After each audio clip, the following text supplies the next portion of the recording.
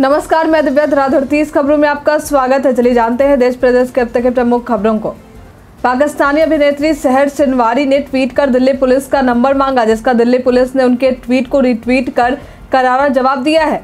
Actress सहर सिनवारी ने tweet किया, किसी को दिल्ली पुलिस का ऑनलाइन लिंक पता है? मुझे भारतीय प्रधानमंत्री और भारतीय खुफिया एजेंसी डॉ के खिलाफ शिकायत दर्ज करनी है, जो मेरे देश पाकिस्तान में अराजकता और आतंकवाद फैला रहे हैं। यदि भारतीय अदालतें स्वतंत्र है तो मुझे यकीन है कि भारतीय सर्वोच्च न्यायालय मुझे न्याय प्रदान करेगा। दिल्ली पुलिस ने इसका जवाब देते हुए कहा है कि हमें डर है कि पाकिस्तान में अभी भी हमारा अधिकार क्षेत्र नहीं है, लेकिन जानना चाहेंगे कि जब आपके देश में इंटरनेट बंद कर दिया गया है तो आप ट्वीट कैसे कर रही हैं? कर्नाटक विधानसभा से पहले चुनाव आयोग ने इस बार जो चुनावी जब्त की है, उसने पिछले 2018 का रिकॉर्ड ब्रेक कर दिया है। इस बार चुनाव में की गई जब्ती 2018 में की गई बरामदगी का लगभग चार दशमलव पाँच गुना है। भारतीय चुनाव आयोग ने मंगलवार को जानकारी दी कि इस बार चुनाव से पहले उपहार नकदी शराब, ड्रग्स और अन्य सामान की कुल जब्ती 375 करोड़ रुपए से अधिक हो गई है। मुजफ्फरपुर की विश्व प्रसिद्ध शाही लीची जल्द ही मार्केट में आने वाली है। इसके लिए सारी तैयारियाँ कर ली गई हैं। देश में कोने कोने तक शाही लीची को पहुँचाने के लिए ट्रेन से ढुलाई की जाएगी। इसके लिए रेलवे डिपार्टमेंट से करार हो गया है। वही अब शाही लीची का स्वाद विदेशी लोग चख सकेंगे, क्योंकि हवाई मार्ग से लीची का एक्सपोर्ट विदेशों में भी किया जाएगा। दरभंगा एयरपोर्ट इस काम में सहयोग करेगा। इसकी मदद से विदेशों तक में शाही लीची का निर्यात किया जाएगा। केंद्रीय मंत्री गिरिराज सिंह मंगलवार को चार दिवसीय दौरे पर ले पहुँचे। राज्य इलाकों में विकास को तेज़ी के साथ केंद्रीय योजनाओं को कामयाब बनाने के लिए किए जा रहे कार्यों के बारे में जानकारी लेंगे। बता दें कि केंद्रीय मंत्री गिरिराज सिंह ने अपने दौरे की जानकारी खुद ट्वीट करके दी है। राजस्थान में इसी साल विधानसभा चुनाव होने वाले हैं। उससे पहले प्रधानमंत्री नरेंद्र मोदी आज राजस्थान दौरे पर हैं। अभी हाल में ही पीएम नरेंद्र मोदी ने राजस्थान को पहले वंदे भारत एक्सप्रेस ट्रेन का तोहफा दिया था। अब पीएम मोदी एक बार फिर यहाँ करोड़ों रुपए की परियोजनाओं का उद्घाटन करेंगे। प्रधानमंत्री नरेंद्र मोदी बुधवार को राजस्थान के दौरे पर होंगे और वहाँ 5,500 करोड़ रुपए से अधिक की परियोजनाओं को लोकार्पण और शिलान्यास करेंगे। गर्मी की छुट्टी को यादगार बनाने के लिए लोग परिवार के साथ टूरिस्ट डेस्टिनेशन जा रहे हैं। लेकिन 10 मई को पटना या पटना के रास्ते गुजरने वाली ट्रेनों में स्लीपर के साथ एसी कैटेगरी में वेटिंग की लंबी स्थिति है। यह स्थिति तब है जब पूर्व मध्य रेलवे ने गर्मी की छुट्टी को देखते हुए अब तक 20 जोड़ियों से ज़्यादा स्पेशल ट्रेनें चलाने का ऐलान किया है। गर्मी की छुट्टी के मौके पर चलाई जा रही स्पेशल ट्रेनों में भी वेटिंग की स्थिति है। बिहार में बागवानी की फ़सलों की खेती को लगातार बढ़ावा दिया जा रहा है। इसी कड़ी में बिहार सरकार किसानों को आम का बगीचा लगाने के लिए पौधे मुफ़्त में दे रही है। इन पौधों की देखभाल के लिए सरकार द्वारा किसान अनुदान भी देने का फैसला किया गया है। इसके आवेदन के लिए ऑनलाइन प्रक्रिया शुरू हो चुकी है। पहले आओ, पहले पाओ के आधार पर लाभार्थियों का चयन किया जाएगा। आम का बगीचा लगाने और पौधों की देखभाल के लिए किसानों को कुल पचास हज़ार रुपए तक दिए जाएँगे। दिल्ली के उपराज्यपाल विनय कुमार सक्सेना के खिलाफ आपराधिक केस चलेगा। अहमदाबाद की कोर्ट ने दिल्ली की एलजी के उस अर्जी को खारिज कर दिया है, जिसमें उन्होंने उपराज्यपाल होने और मिली इम्यूनिटी का ज़िक्र करके क्रिमिनल ट्रायल से छूट मांगी थी। सक्सेना पर आरोप है कि उन्होंने 2002 में अहमदाबाद के साबरमती आश्रम में सामाजिक कार्यकर्ता मेधा पाटकर पर हमला किया था। भारत के मित्र देश इसराइल के विदेश मंत्री एली कोहेन भारत के दौरे पर आए हुए हैं। इस सिलसिले में उन्होंने मंगलवार को प्रधानमंत्री नरेंद्र मोदी से मुलाकात मुलाकात के बाद ट्वीट कर उन्होंने दुनिया के सबसे अधिक आबादी वाले देश दुनिया की पांचवी सबसे बड़ी अर्थव्यवस्था और विश्व शक्ति भारत के प्रधानमंत्री मोदी से मुलाकात की। मैंने पीएम मोदी के साथ दोनों देशों के बीच रणनीतिक संबंधों को मज़बूत करने, अब्राहम समझौते का विस्तार कर और एक मुक्त व्यापार समझौते को बढ़ावा देने के बारे में बात की, जिससे इसराइल की अर्थव्यवस्था को बढ़ावा मिलेगा।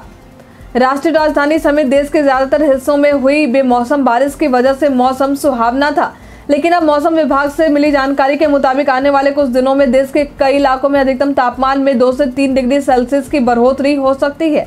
इसके अलावा कुछ हिस्सों में तापमान 42 डिग्री सेल्सियस तक रिकॉर्ड किया जा सकता है।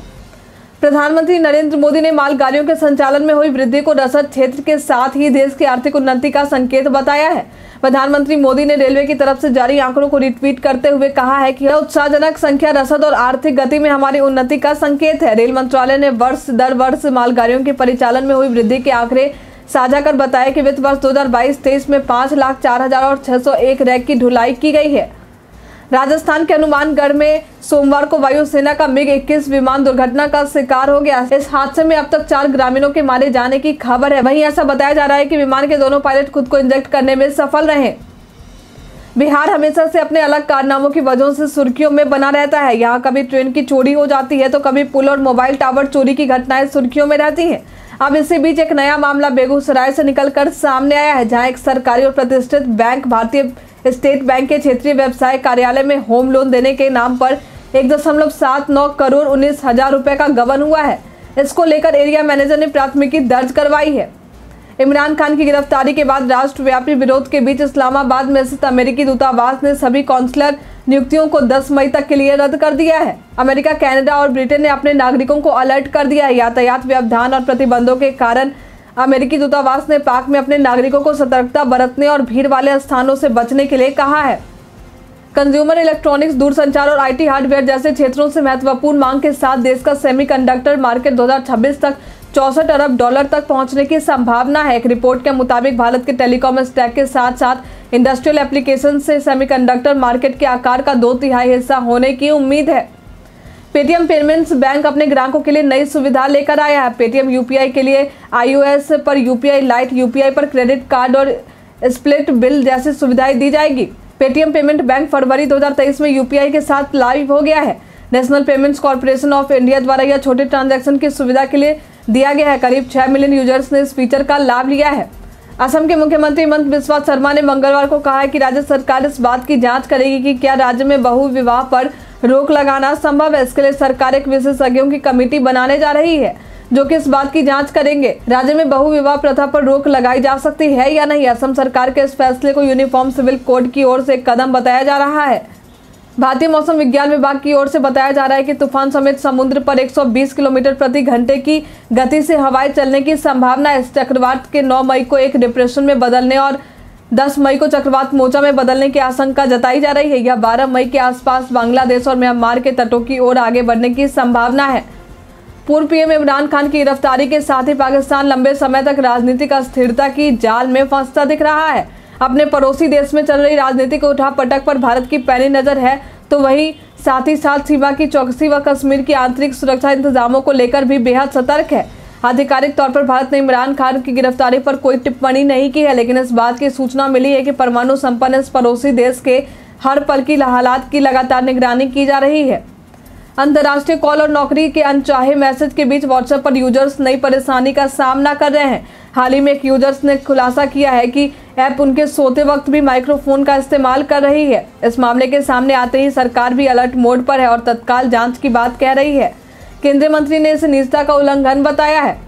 अंतर्राष्ट्रीय भारतीय फ़िल्म अकेडमी पुरस्कार, यानी आईफा 2023 का आगाज़ होने वाला है। इस बार यह इवेंट अबू धाबी के यस आइलैंड में होगा। इस बार इस तीन दिवसीय इवेंट की शुरुआत पच्चीस मई को होने जा रही है। बता दें कि ये इवेंट हिंदी सिनेमा की सबसे बड़ी अवार्ड नाइट में आता है और इसका सभी को बेसब्री से इंतज़ार रहता है। भारतीय सेना में ब्रिगेडियर और उससे ऊपर के मिलिट्री अफसरों को एक ही यूनिफॉर्म पहनना होगा। यह नियम इस साल एक अगस्त से लागू हो जाएगी।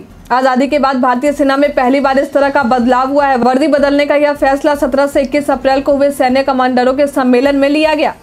मुंबई, अहमदाबाद बुलेट ट्रेन परियोजना पर पूरे देश की नज़र बनी हुई है। इस बीच रेल मंत्रालय ने जापान के साथ एक और समझौते पर हस्ताक्षर किया है।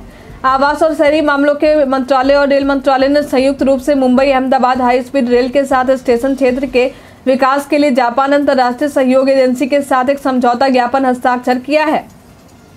भारतीय रेलवे यात्रियों की सुविधाओं को बेहतर बनाने के लिए अपने टिकट सिस्टम में बदलाव करने जा रहा है, जिससे यात्रियों को रेलवे के जनरल टिकट के लिए स्टेशन पर नहीं जाना होगा और यात्रियों को लंबी लाइनों से भी छुटकारा मिल जाएगा। यहाँ तक कि यात्रियों को काउंटर टिकट पर ही नहीं जाना होगा। वह अब घर बैठे ही जनरल टिकट की बुकिंग कर सकते हैं, क्योंकि अभी यात्रियों को रिज़र्व और अनरिजर्व टिकट के लिए स्टेशन पर टिकट काउंटर पर जाना पड़ता है। भारत में डीजल वाहन मालिक राहत की सांस ले सकते हैं। पेट्रोलियम मंत्रालय ने कहा है कि वह अपने पैनल से मिली सिफारिशों को लागू नहीं करेगा। मंत्रालय ने सोशल मीडिया पर ट्वीट के ज़रिए कहा है कि केंद्र ने अभी तक अपने एनर्जी ट्रांजिशनर पैनल की रिपोर्ट को स्वीकार नहीं किया रिपोर्ट में सुझाव दिया गया है कि क्लीन मोबिलिटी को बढ़ावा देने के लिए भारत के सभी प्रमुख शहरों में 2027 तक डीजल से चलने वाले चार पहिया वाहनों के इस्तेमाल पर प्रतिबंध लगा देना चाहिए।